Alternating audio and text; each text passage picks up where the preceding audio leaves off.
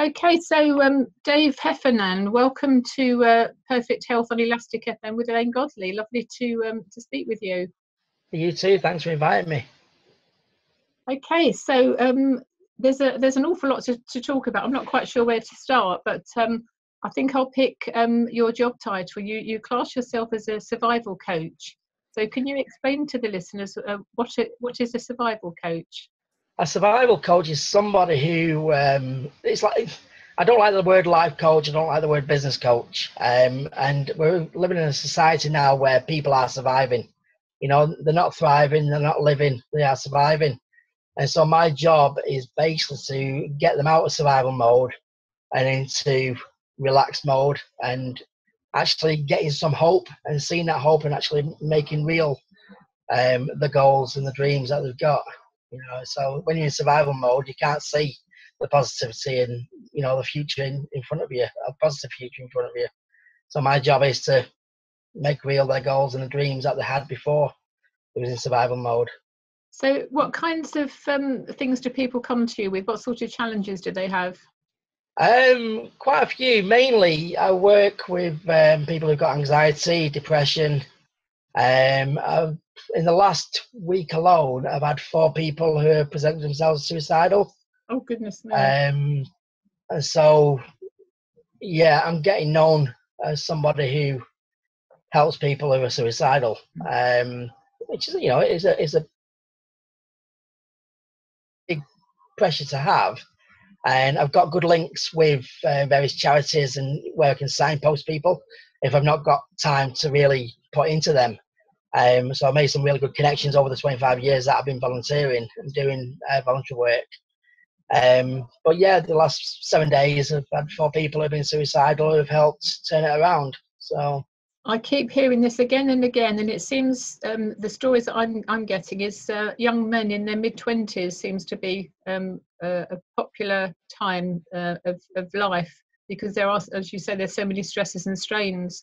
In fact, on on my show this week, uh, my guest wasn't able to come along because she had a family member had committed suicide. So you know, it, it seems to be on the radar, you know, again and again. It's very sad. So um, when you mentioned you've been volunteering for 25 years, so what, what have you been volunteering um, to, to do and when, what, what capacity and who, who with? It's been a mixture of um, fundraised and worked with pre postnatal depression charities. Um, the last one being Pandas, um, based in the Midlands, uh, which is a national charity um, helping men and women. Uh, I was in charge of the men's section um, but also I did a lot of work with the women's side as well. Um, because more recently it's actually been shown as men actually having postnatal depression, which was always poo-pooed and ignored, mm. and now evidence is coming that men are actually um, going through postnatal depression as well, and also PTSD is a big thing um, when the births are quite traumatic, um, and so men are going through a lot of emotional issues there. I've done work with um, crisis, um, action for children. You know, so um, more recently, I'm involved with a company uh, with an organisation called CEO Sleep Out, which is a national uh, charity that is supporting um, homelessness, poverty, um, and sex worker charities across the UK. And every year, I do um, a sleep out, a charity sleep out and last year in Manchester, we raised £64,000, which went towards four Northwest charities, Manchester charities. Good gracious me. Including Man- uh, MASH, which is Manchester Action for Sexual Health, Mustard Tree Foundation, um, you know, so, some fast, fantastic charities that are getting real money at the front line where they need it and actually making real differences to people's lives. So, That's amazing. You mentioned the CEO sleep out. Is that CEOs as in business people? Yeah, it's business leaders um, across the UK who basically get away from the suits in the office and actually try to understand what it's like actually being out there on the street. And so it's um, circumstances.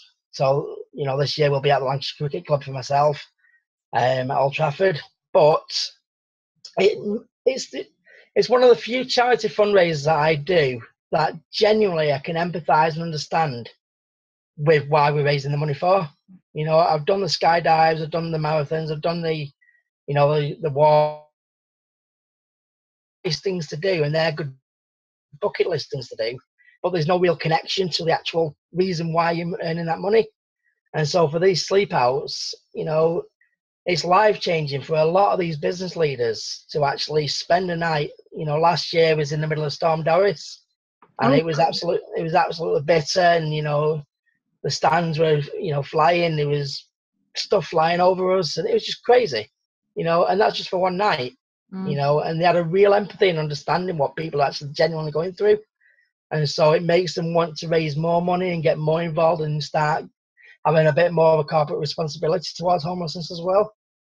That's so, very good. And, and, what, what is your connection then to the, the homeless charity? Uh, my connection basically, I was homeless for two years when I was 16. Um, and during that time, um, I set up a childcare club and got my A levels whilst living rough above a drug dealer's squat. Uh, I'm in a cemetery for three months in disused maisonettes. Wow. Um, but I had, I had a mission. Um, I grew up in a place called Salford and council estate called Ordsall, which was one of the roughest council estates in the whole of Europe. Um, and from a very, very early age, I had a big moral compass. I could see what was around me and I could see the problems and the troubles, and I wanted to stay clear of that. But I wanted to try and help the people around who needed the help. And so, me and my father had different ideas about where I should be going and he wanted he, he wanted me to become an accountant, and I wanted to actually be a volunteer and stay in Salford and make it a better place. And the arguments were quite, you know, vicious over a course of a couple of years from the age of about 14 to 16, where I was digging my heels in saying this is what I want to do. And at the age of 16, when it was he was legally responsible to be able to do it, he said, "Get out, I'm not interested." Um, and so I didn't have a plan B. You know, back then in 1990, there was no internet. There was no signposting. Um, like now, you could become homeless, and you know you can just go to the internet on the library and you could find out all the resources and support that's out there. I had nothing like that, but my plan A was to get this childcare club set up, and so I I ended up on the street for just under two years, whilst trying to develop this childcare, trying to get money for for this childcare club. And for about eight months, I didn't get a single yes. I was knocking on doors of offices, banging on. I was still in the same clothes that I had been in for two, three months. And, you know, looking back, I can understand why they were saying no. Um, and then fortunately, I met a guy whose job was to try and get people into YTS, the old youth training scheme. Mm-hmm. And he explained, said, no, this, this is what I want to do. I don't want to go into youth training scheme. And rather than tell me to go away then, because he had his own targets, he actually sat with me and developed a business strategy and a business plan. Wow. And he actually supported me. Um, and amazingly enough, about two months after that, I got over 25 yeses and managed to get it sorted. You know, so a bit of a plan instead of just banging on doors saying "gimme, gimme, gimme." You know, it's uh, it worked. You know, but I've had a few of those sliding doors moments where, and this is what's dri- driven me over the years, is it's important to just listen. And he listened to me, and rather than put his own objectives on me, and his own morals, he actually listened to what I needed and he supported me. And, you know, I can trace, you know, my career now back to him. Wow, amazing, isn't it? And it, and Incredible. With the with the CEO um, sleep out thing you were saying, um, I'm just closing down some uh, things. I've I had something just pop in just now. I don't want to be distracted. Um, the the CEO sleep out. Um, again, I wonder how many CEOs have been inspired by by you know what you've created there. It's just it's remarkable. So never say never. Just keep on and having the passion and belief that you can achieve is is is a great story. Well done, excellent. And is that child centre um, support thing still going up in Salford? It lasted two and a half months. I, I handed the keys over to the council because I was emotionally drained Yes. I said I took it as far as I could. My mission was to get it up and running and sorted. The council didn't have my passion, my why, my belief. Yeah. They just wanted to regenerate Salford from the business side of things.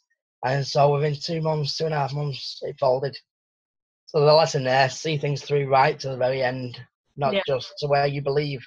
Yeah. the end is, you know. So, but I can't regret that, you know, because from a very early age, I was um, an altar boy at the age of five. I served at a Catholic church, and my primary school, because I was very good at reading, they thought I would be good on the altar. Mhm. And so at the age of five, I actually served my very first funeral, which is not normal. You know, for a five year old to be Mhm. there with a big coffin in front of them Yeah. with all these you know, emotional people. Yeah. And between the age of five and the age of eight, um, I'd served over 300 funerals. Good grief. Now, at the age of eight, something incredible happened. Um, and again, this is another sliding doors moment that's really sort of built my own personality and my character. Is I became an unofficial grief counsellor. People would just people would just sit Mm. people would just sit next to me and just pour the heart out. And I'd just sit there with my altar boy clothes on, my Kosa and cassock, and I'd just listen. And all I kept on hearing was regret. I wish, I wish I would have spent more time with them. I wish I would have phoned them. I wish he would have done what he wanted to do before he died. And again, talking about sliding doors moment and people listening, I went up to the priest, and I've got a seven-year-old now, and he would never ask this question. He'd be more interested about, you know, what's happening with a YouTube star. Yeah. Um, but I asked the priest. I said, "Look," he said, "How do I live a life of no regret?" Now, again, that's not normal for an eight-year-old. No. Well, it was normal to me though, because that was the, the environment that I was growing up in. And the priest, rather than sort of slap me and say, "Go away," he actually said to me, "He said to live a life of no regret, Dave." You need to make peace with your decisions immediately, both good and bad. Yeah. And I can tell you now, from the very moment I walked out of that church as an eight year old, and I'd served for another eight, nine years after that. And so I've, I've actually served over three and a half thousand funerals. Good grief. Um, so I'm very comfortable around death and grieving and grief and, you know, that kind of thing. And I know a lot about regret. Um, but from that moment on, every decision I made, whether that's got me into a horrible situation, I've had several death threats, um, or homeless, I've always made peace with the decision that I've made because A, I've either made it with a sound mind.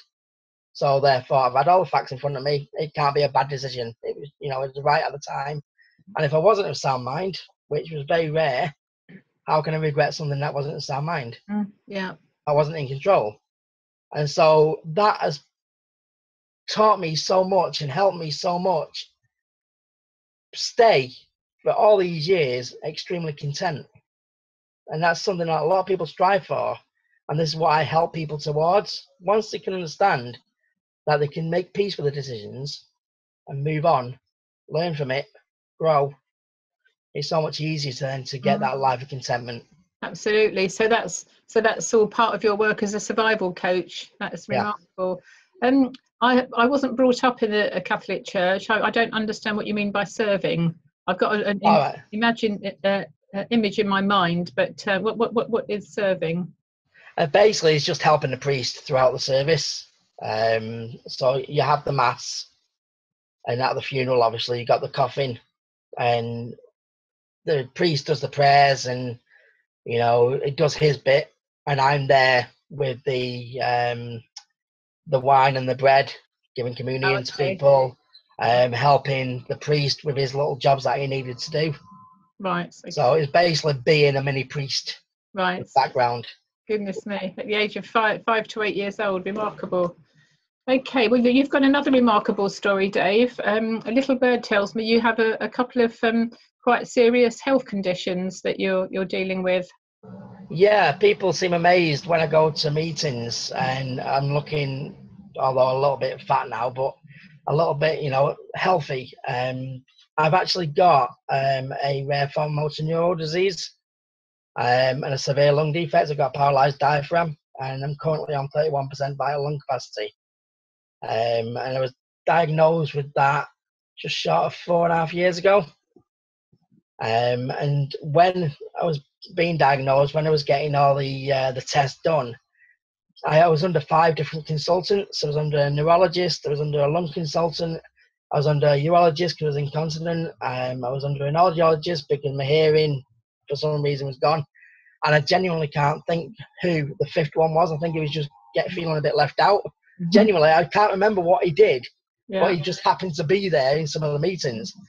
Um, and what they was doing, they was medicating for their own particular field. hmm And so the tablet and the medication was getting completely concocted, and there was no communication between the t- different consultants. So I, I was on 36 tablets a day plus uh, 45 milligram morphine, and I was in agony, I was in pain. But I, you know, without going into too much detail, I was vomiting every day quite violently. Um, I was getting massive headaches. I couldn't get off the settee. You know, I kept on hearing the word no to my children. They wanted to play football. They wanted to do a jigsaw and all I kept on saying was no, no, no, because I couldn't physically do it. Um, and that was sort of the main point where I said enough's enough. Because once you hear no too many times, especially to see children, I didn't become a dad to say no to my kids and not actually do the basics with them. And so I educated myself about the tablets that I was taking, and I realised that the vast majority of them were counteracting the others and but adding side effects hmm and I'm quite a black and white person, you know. Um, and so I said to my wife, I said, "Look, I'm coming off all my tablets because in my mindset, I would rather be in pain and drug free than be in pain with a lot of drugs in my system and have a lot of side effects." And so it was a simple decision for me.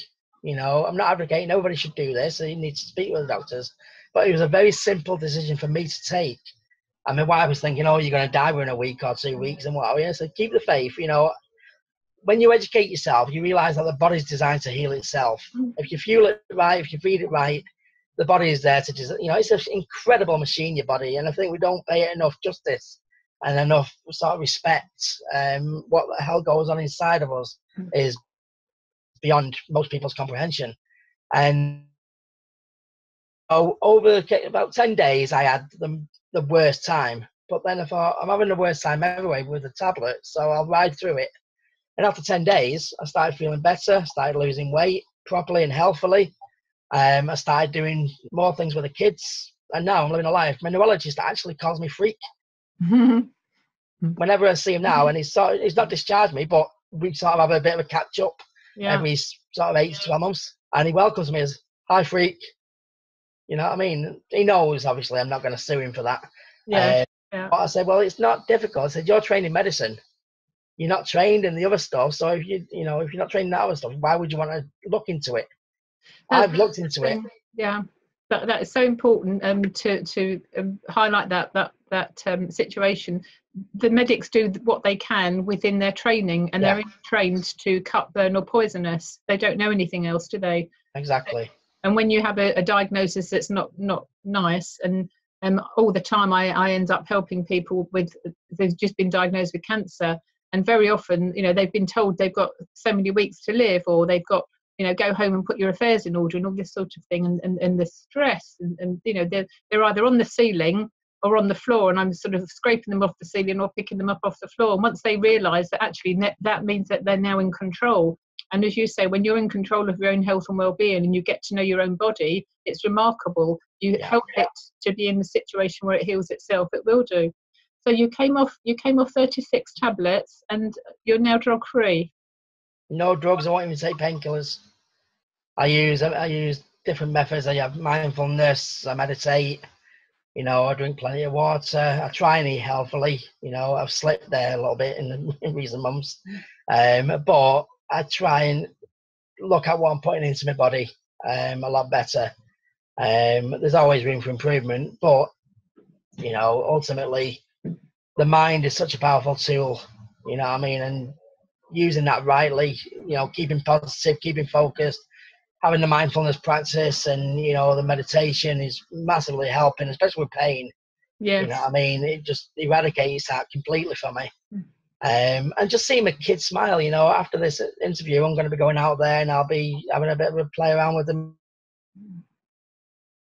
garden. You know, why would I not want to carry on doing what I'm doing Yeah. if that's what it's giving me? You know what I mean? I'm a dad again. You know, that's all I want. Fabulous. So, so your message then is one of belief. Believe in, believe you can. There's always an, an alternative way for for anything and everything, and um, don't give up. Um, and um, sort of take control of your own situation. Take control and educate. You know, we need to educate ourselves. you know. And once we do, you know, and you've got that open mind, I would say be open minded, you know what I mean? Because this kind of language is so new to a lot of people. It's almost like woo woo. Yeah. You know what I mean? It's far too, you know, big to comprehend. Mm. So have an open mind and try. You know what I mean? Try eating healthfully, try drinking the water, try mindfulness, try meditation. It's not going to do you damage. You know what I mean? And so if you're already feeling damaged, it's only going to help or just keep it the same. But I think you'll find once you do it properly and consistently, actually things will get slowly better for yourselves. And then that's when the belief comes in. You know, borrow somebody else's belief before you've got your own. I think that's important. Be open minded and borrow somebody else's belief. Absolutely. So, um, how do people get hold of you, Dave? Uh, several ways. You can either get me on LinkedIn, which is under Dave Heffernan Speaker. Okay. Um, on my website, which is daveheffernan.com. And it's Heffernan. Yeah, H E F F E R N A N. So Dave Heffernan. Okie doke. Um, and um, how do you how do you do you kind of meet with people? Do you do things on Zoom or over the internet? How do, how do you do your survival coaching? It depends where they are in the country. Um, I like Zoom because you can see, you know, you can see the color of their eyes. You can see, you know, inside the soul basically. Um, Zoom's fantastic. I do phone calls if they're local, or you know, I can I can go I go across the UK. You know, I'm doing a lot at the moment. I say with um, corporates where I'm putting in mental health policies in place um, for their companies and what have you. So I'm in the process as well of setting up a charity because what I'm finding is um, 25 years pretty much doing voluntary work on the side. When you start having to charge people, that's hard for me. And I've had to do a lot of work on myself to actually start charging. And um, so what I'm what I'm doing with a business partner is we're setting up a community interest company, Mm-hmm. and that will mop up all the people who have fell out of the system or can't get access to mental health support through postcode lottery or finances or whatever it may be, and that will then fund those people to come through and mop those up. And then the ones who can afford, obviously, I work one to one with them. Um, yeah, so I, it justifies being having to charge people. Yes. As I say, naturally, a lot of corporates now are falling into place because mental health's a big thing in the workplace now. Um, and because my brand's quite strong out there now, people are getting in touch with me Yes. to work with them. So the CIC, I'm not letting those people down, you know, who can't afford access. There's no postcode lottery for me. You know, Yeah. it should be eradicated, postcode lotteries, especially mental health support anyway. Absolutely. Okay. I normally ask people to um, suggest two songs um, when they're interviewed that I can play on the radio. Do you have two songs to suggest?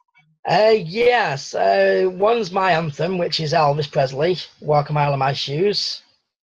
Okay. Yeah. And the other one, uh, I had difficulty with this one. Um, I would say it would be U2 and uh, Kite. It's called Kite. U2 kite. Okay, so U2 kite and Elvis Presley, Walk a Mile in My Shoes.